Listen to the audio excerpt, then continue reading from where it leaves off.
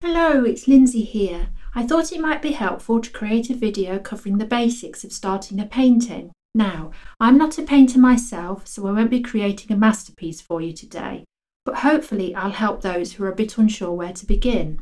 I'm starting in my brushes folder on iCloud Drive. To create my new painting, I simply need to tap either Create Painting or the plus up here.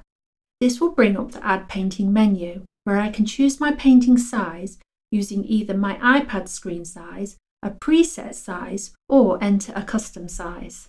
Making sure you pick the right size for your painting is important if you want to print it or have some other specific purpose in mind, but I'll stick with my screen size. My screen size is in landscape because I have my iPad in that orientation. If you have your iPad upright, the numbers will be for portrait. We won't worry about that too much for now, so let's get painting. In the canvas screen, you will find a menu, which will allow you to go back to the gallery, insert images, share your painting and apply settings.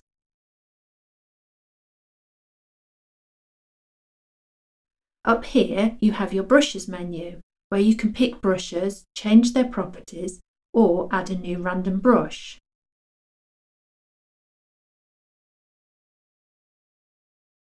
Next to that is the eraser menu. Whichever of these two is highlighted is your current tool. You can select brushes in each menu independently, but any changes to brush properties will be shared between them. Next to these two, you have the Layers menu.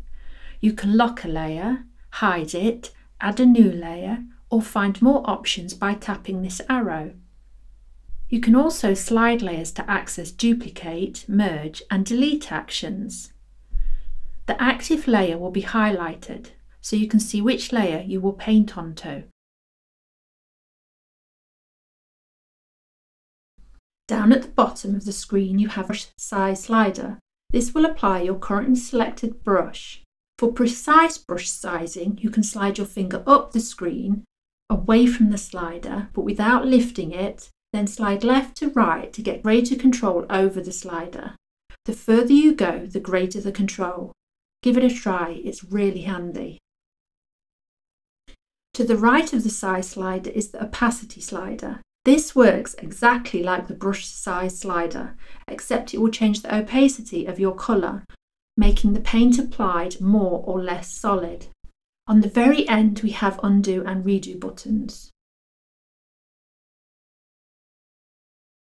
Finally, in the bottom left, this little dot opens up the colour wheel. Colours can be saved to the swatches either by tapping the plus in an empty slot or dragging the colour down from the preview at the top and dropping it on any slot, whether taken or not.